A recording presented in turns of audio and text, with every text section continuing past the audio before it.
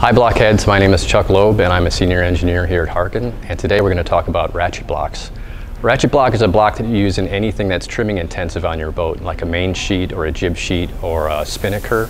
Something that's trimmed a lot and the load's high, but you can't cleat it. We're going to demonstrate how a ratchet block works today using this setup where I've got about 50 pounds of lead bags on the floor attached to the head of this block this is a 75 millimeter carbo ratchet block with a special clear side plate so that you can see how the mechanism works a little bit later on. And then I have a sheet dead ended to the tube on the top and then one going to my hand. Also attached here is what we call a load cell which measures my effort into the system. So with the ratchet block, the ratchet off and the ratchet block, when I trim, I'm getting about 27 pounds, a little bit over half the load, which is to be expected. And when I ease, it's about the same. 26 trimming, 25 easing. Now I'm going to drop the load to the floor, turn the ratchet on. I'm going to trim again. I get the same expected 27 pounds of trim load, but when I ease, the load goes way down to right around seven pounds. So that's 7 pounds in my hands versus 25. The ratchet block doesn't make it easier to trim, it makes it easier to hold trim. To make the trim easier, you'll have to increase the purchase in your system. Let's talk about what happens in the ratchet block. When the ratchet block is turned off,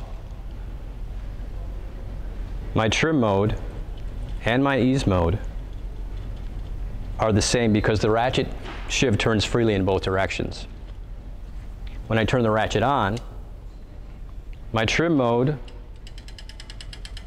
is free, just like before, but ease mode, the sheave is actually stopped. Which forces the line to travel around a stopped sheave. In addition to this, the sheave has facets or bumps, which further increases the friction. All of this adds up to a much lighter load in my hand. This is the ratchet block that we're using in the demonstration, and what is in there is this sheave. and what you can see is a series of teeth around the inside.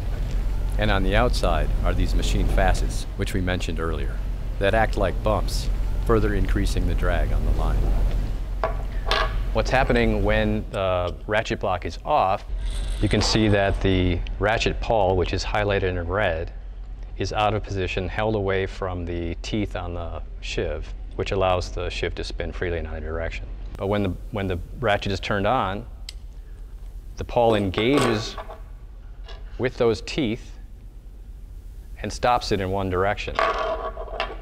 It's allowed to pop up and over them in one direction, spring loaded, but in the other direction, it jams hard against the sheave and stops it.